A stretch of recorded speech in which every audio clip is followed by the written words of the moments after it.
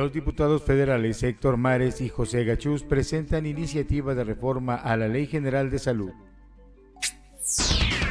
Día histórico en el tema de la medicina regenerativa y disposición de células madres.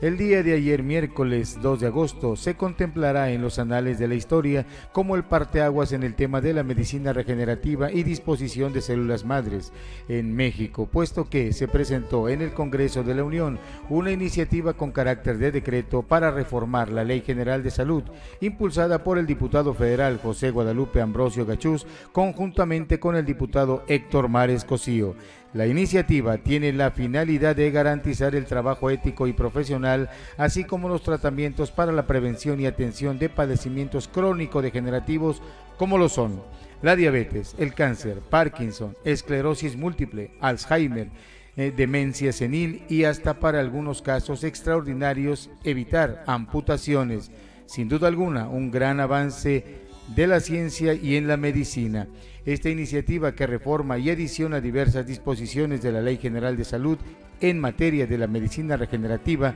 también tiene como objetivo que los bancos proveedores de células madre cuenten con un producto de la mayor calidad posible y así poder dar certeza y seguridad a la salud de los pacientes que utilicen esta biotecnología de punta. La iniciativa con carácter de decreto busca establecer las normas jurídicas, el origen, procesamiento y aprovechamiento en las condiciones adecuadas las células mesenquimales para beneficio de profesionistas en el ramo y los pacientes que se atiendan con ellos, además de fortalecer los correctos tratamientos de trasplantes de células madre.